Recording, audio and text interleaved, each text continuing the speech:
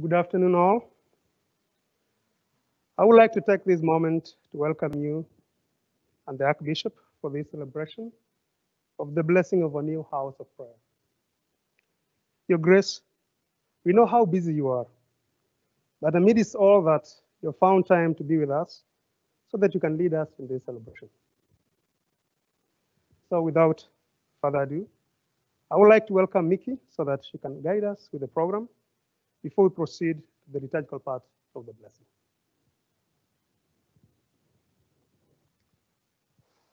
Thank you, Father. One of the things I reflect on in my ministry is how I'm the steward of my role for a particular moment in time. When I was looking at our history and preparation for today, I was reminded that Sacred Heart has dedicated three chapels prior to the one we're gathered to bless today. Because of his long ministry, Archbishop E.D. Howard came to Eugene to dedicate both the 1939 chapel and the 1952 chapel. Archbishop Cornelius Power dedicated the 1982 chapel. Archbishop Sample, we who are the stewards of this healing ministry in this moment in time are pleased to welcome you today. The roots of our mutual ministry in service to the people of this community run deep, and I trust extend well into the future. And so I'd now like to introduce Alicia Beamer, our Chief Administrative Officer for University District in Cottage Grove, to give her opening remarks. Thank you. Welcome and thank you all for being here. Our mission calls us to the sacred work of healing. This is a promise made by the Sisters of St. Joseph of Peace when they purchased an ailing hospital and created what we know as Sacred Heart Hospital here in 1936. During our time together today, we will honor our past and bless the future, especially this new chapel to the sacred work. We will also bless and celebrate our caregivers and physicians who come together every day to wrap each patient in love as they provide care. We do this by attending to the whole person, mind, body, and spirit, with a particular concern for the most vulnerable individuals among us. I am now pleased to introduce our Chief Executive, Todd Salnas.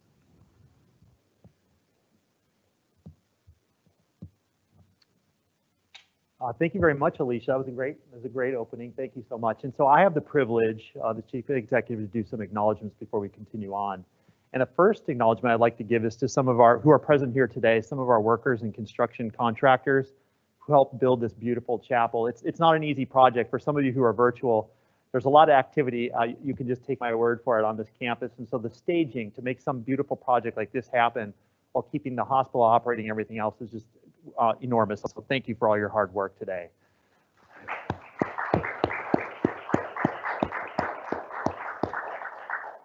We also would like to thank uh, Sister Eileen Trainer for being here today. Um, we thought she started in 1972 and she just corrected me. It was actually 1971. So thank you. Uh, serving as a nurse in our ministry, serving as a charge nurse, starting our risk management program, and now as my boss as a board member, right? And so, so thank you so much, Sister Eileen, for your presence as well. We'd also like to thank Father Joseph for being here. He's not worked here since 1971, but he still leads and does a great job with our chapel and our mission services. So thank you so much for your leadership. And we also have system leaders that uh, grace us with their presence and have come down. We have Richard DiCarlo, uh, we have Dr. Doug Cook, we have Steve Glenn and Judy Fick. So thank you traveling all the way down to Portland to be with us. It means a lot for us to have your leadership presence with us today.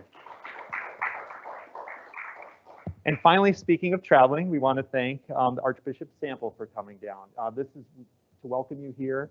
Uh, the last time we think you were present was in 2019. We were blessing our emergency department reopening, which is a very special moment for us. So it's a big deal to have you here, and we're so gracious and glad that you were able to come. And you know, um, we share a common mission, a Catholic faith-based mission to serve the underserved. And we just look so forward to working with you uh, as we continue to serve Lane County and all of those in need in our community. So thank you so much. And with that, now, Archbishop, I'd like to present you with the key to the chapel, and we ask for God's blessing of this chapel. Thank you. Thank you. It should work. I was expecting that too, yeah. Thank you. Should we make sure? Yes.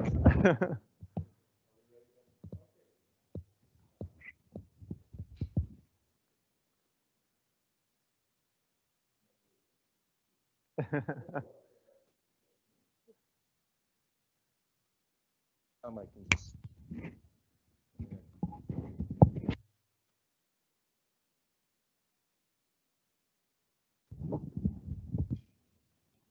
Hmm. In the name of the Father, and of the Son, and of the Holy Spirit, may grace and peace be with you all in the Holy Church of God. Dear brothers and sisters, we have gathered here with great joy to offer a new chapel to God.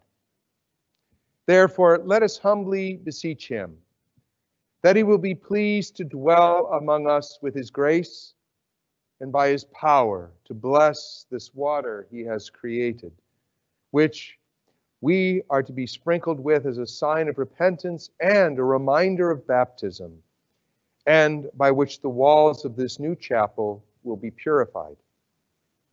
But first, let us remember that we ourselves, gathered as one in faith and charity, make up the living church, placed in the world as a sign of witness of the love with which God cares for his people.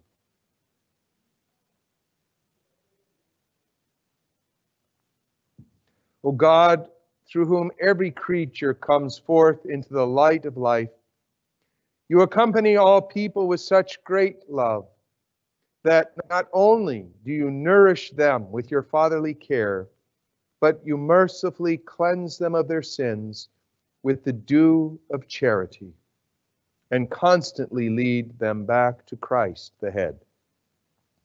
For in your merciful plan, you establish that those who descend as sinners into the sacred waters to die with Christ should rise free from guilt and be made his members, heirs with him to an eternal reward. Sanctify, therefore, with your blessing this water you have created, that sprinkled on us and on the walls of this chapel, it may be a sign of the cleansing waters of salvation, in which we have been washed with Christ and made a temple of your Spirit. Grant that with all our brothers and sisters who will celebrate the divine mysteries in this chapel, we may come at last to the heavenly Jerusalem through Christ our Lord.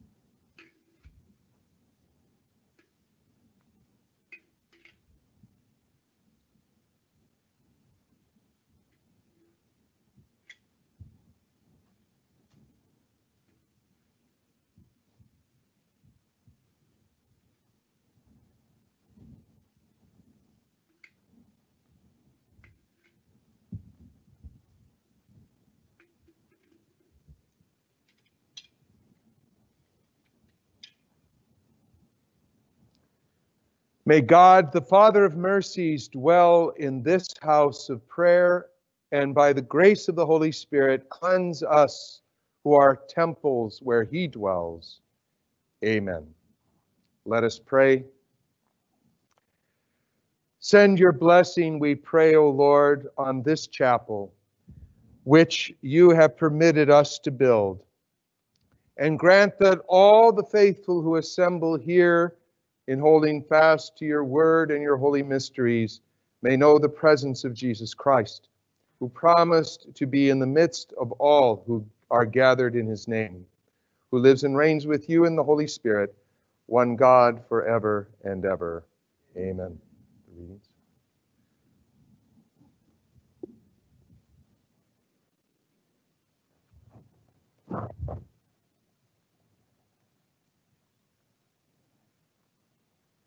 A reading from Nehemiah, chapter 8. All the people gathered together into the square before the water gate. They told the scribe Ezra to bring the book of the law of Moses, which the Lord had given to Israel. Accordingly, the priest Ezra brought the law before the assembly. Both men and women and all who could hear with understanding.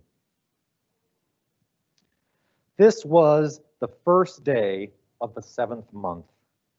He read from it facing the square before the water gate from early morning until midday, in the presence of the men and the women and those who could understand. And the ears of the people were attentive to the book of the law. The scribe Ezra stood on a wooden platform that had been made for this very purpose. And Ezra opened the book in the sight of the people, for he was standing above all the people. And when he opened it, the people stood up. Then Ezra blessed the Lord, the great God, and all the people answered, Amen, Amen, lifting up their hands. Then they bowed their heads and worshiped the Lord with their faces to the ground. So they read from the book, from the book of the law of Moses, with interpretation. They gave the sense so that the people understood the reading. And Nehemiah, who was the governor, and Ezra, the priest and the scribe, and the Levites who taught the people, said to all the people, This day is holy Holy to the Lord your God, do not mourn or weep. For all the people wept when they heard the word of the law. Then he said to them, Go your way, eat the fat and drink the sweet wine, and send portions of them to those for whom nothing is prepared. For this day is holy. It's holy to the Lord. And do not be grieved, for the joy of the Lord is your strength the word of God. Thanks be to God.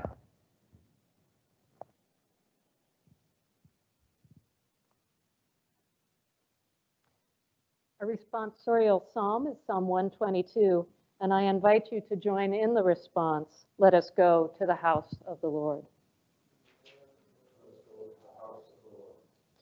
I rejoiced when they said to me, Let us go to the house of the Lord. And now our feet are standing within your gates, Jerusalem. Let us go to the house of the Lord. Jerusalem is built as a city, walled round about, where the tribes go up, the tribes of the Lord. Let us go to the house of the Lord. As it was decreed for Israel to give thanks to the name of the Lord, there are the thrones of justice, the thrones of the house of David. Let us go to the house of the Lord. For the peace of Jerusalem, pray. May those who love you prosper. May peace be within your ramparts, prosperity within your towers. Let us go to the house of the Lord. For the sake of my brothers and friends, I say, Peace be with you. For the sake of the house of the Lord our God, I pray for your good. Let us go to the house of the Lord.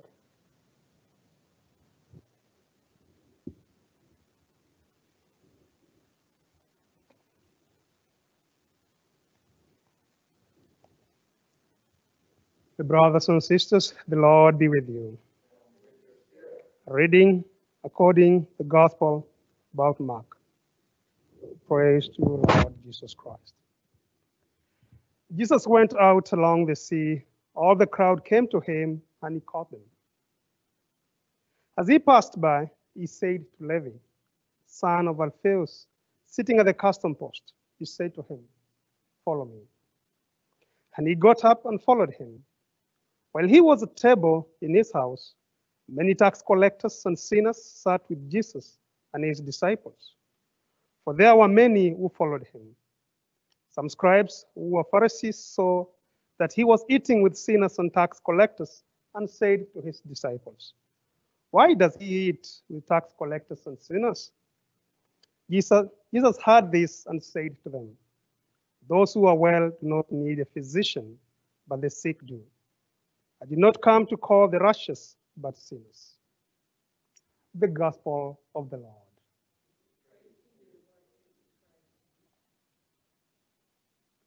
Brothers and sisters, having received the word of life that proclaims God's enduring love, let us bring our concerns to our God who knows our hearts and what we truly need.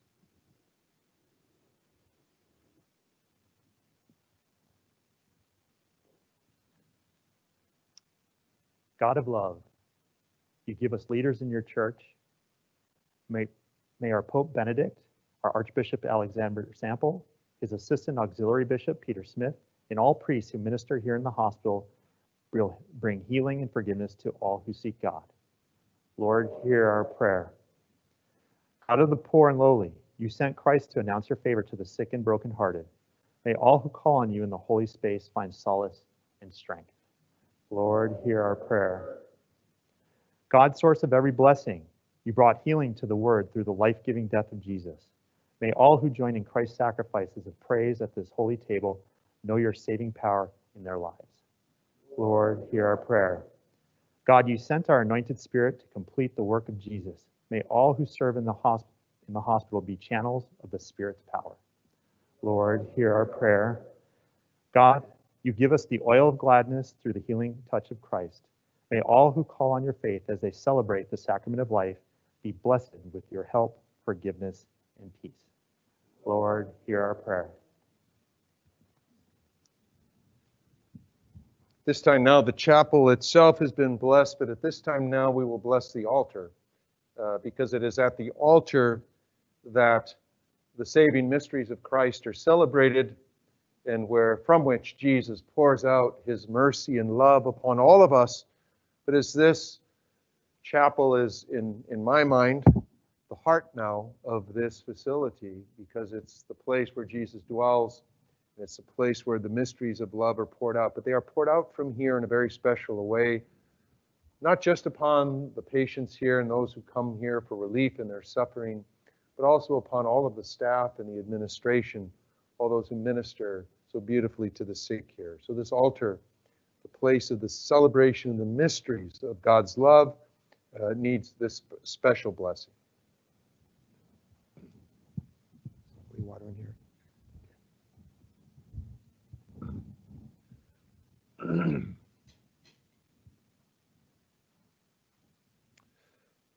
With joy, beloved brothers and sisters, our community is gathered to bless this altar. Let us join in this rite with attentive spirit, asking God to look kindly on the church's offering that will be placed on this altar and making of his people an eternal offering to himself.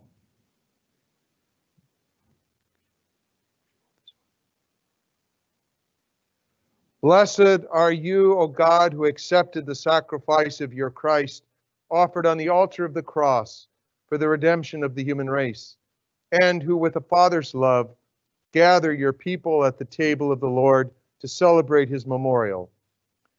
Therefore, look, O Lord, upon this altar, which we have prepared for the celebration of your mysteries. Let it be the center of our praise and thanksgiving. Let it be the altar where we offer in mystery the sacrifice of Christ. Let it be the table where we break the bread of life and drink of the cup of unity.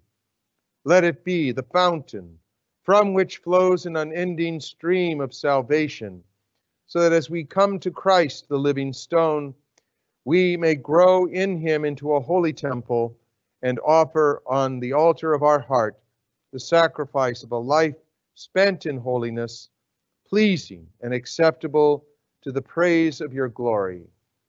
Blessed be God forever.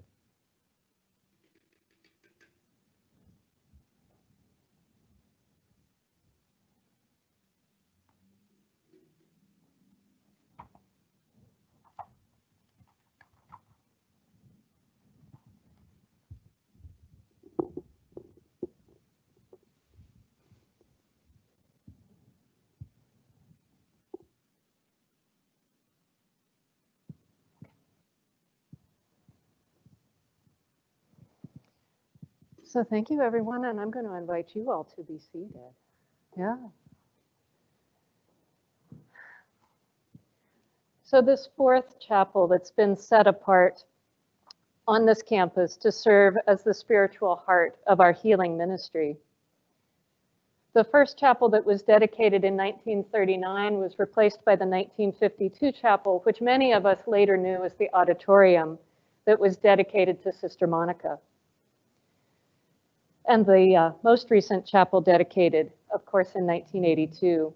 So as we designed this fourth chapel of the Sacred Heart, we wanted to bring forward the statues, furnishings, and appointments from the 1982 chapel, as well as these two stunning windows from the 1952 chapel, as a reminder that change, transformation, and renewal has always been a part of carrying on our mission into the future while standing on the shoulders of those who've gone before us.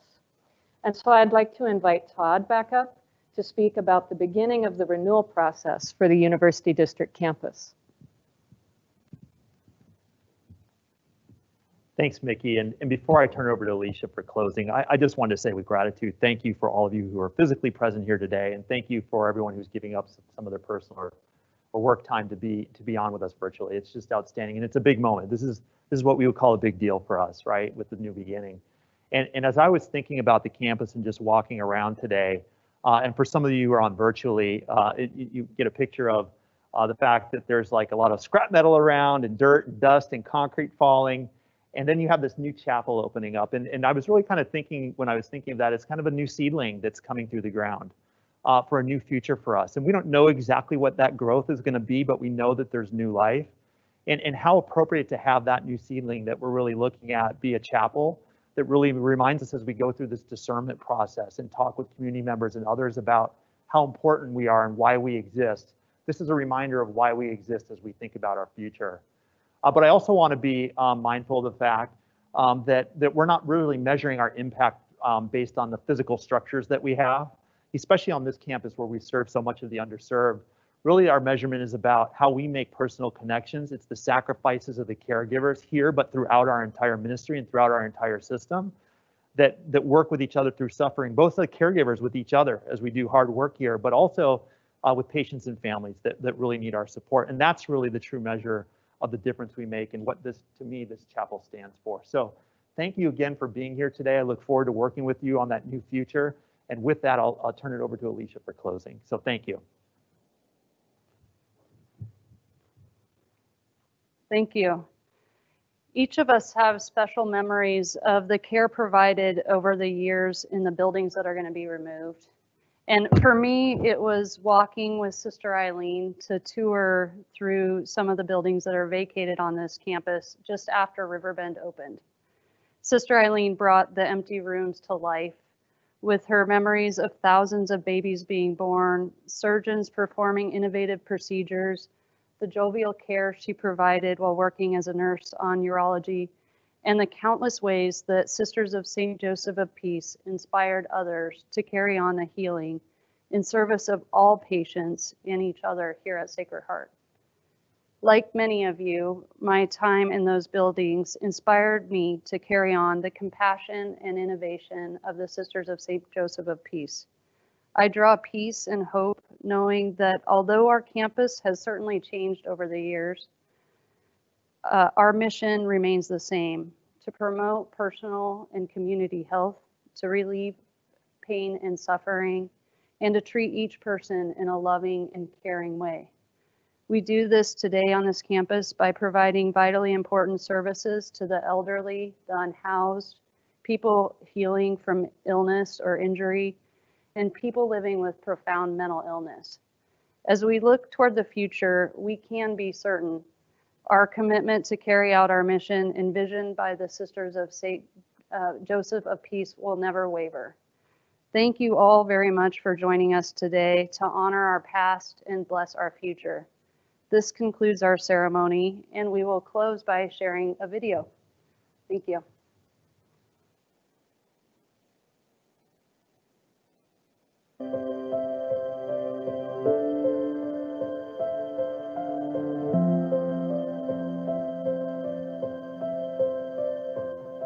when I start my day, I look out and I see the cross right across from, from outside my window.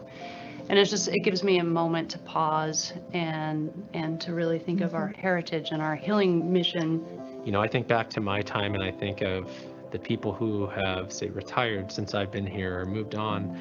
And those people are still imprinted on my mind for what I should do in the course of my day today. all of the people that were before me, oh, I always feel their presence. I always feel them around me. Those folks that trained me. So what makes University District special to me is the people that work here. Um, we're a little community. Uh, it's a small campus. We look out for each other. We know everybody. It's uh, kind of like my second home. It's more like families uh, than rather than just the coworkers. the legacy is carried by, by the employees that have come to us because they believe in what, what has been done. Each person brings something that no one else has. I'm very grateful to PeaceHealth and especially the nuns for starting and supporting the NICU. Uh, I think we've done marvelous work over the years and I'm, I'm still excited now as I was when I first stepped in. This is, this is a marvelous place. I feel really um, blessed that the sisters have made taking care of mentally ill and elderly people like that are on the ACE unit a priority because there are people and populations that can't advocate for themselves and otherwise wouldn't be taken care of. When I first started here, you could look through the glass still and see the babies. You could go up there and sneak a peek, and you know, that would make a good part of the day. I, I would like to see the hospital get a facelift. I would love for it to be a warm and welcoming space that's really representative of the people that work here and the dedication, you know, that goes on behind these walls. The people will change, people will come and go, but the legacy of the goals that they, you know, leave behind, but then are carried forward by others, are what gives this such a great uh, longevity. We couldn't do it at Riverbend without having first done it here at university. I have no doubt that where we will go, especially on this campus, is that we're going to continue to carry on that healing mission and we'll continue to relieve pain and suffering. And we will treat each person in a loving and caring way.